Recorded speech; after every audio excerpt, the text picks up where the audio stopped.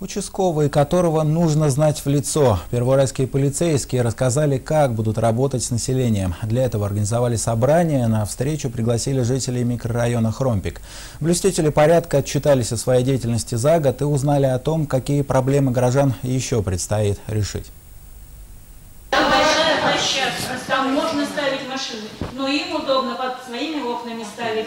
С наболевшими вопросами к участковому полиции. В зале ТК имени Ленина собрались жители микрорайона Хромбик. О предстоящей встрече их заблаговременно оповестили. Меня пригласили на эту встречу впервые за много-много лет. И сказали, что якобы отчет будет начальника УВД города. Конечно, это интересно. Но я бы вообще хотела э, спросить и знать своего участкового в лицо, как когда-то мы знали.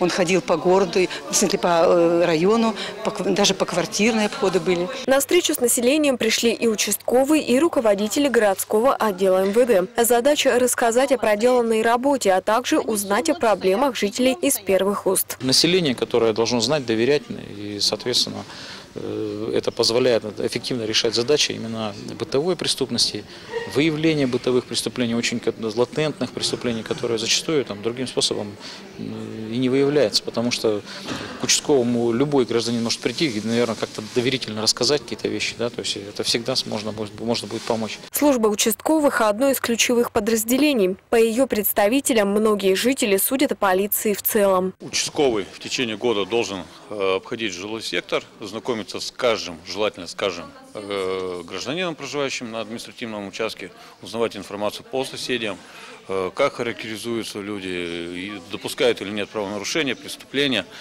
Э, кроме этого, участковый в течение года один раз должен провести отчет перед населением, на который приглашаются граждане. С гражданами в Первоуральских поселках работают почти полсотни участковых уполномоченных полиции. Служба полностью укомплектована. В ее задачи, в числе прочего, входит пресечение правонарушений. Нередко помогают в этом рядовые первоуральцы, сообщая полицейским о проблемах.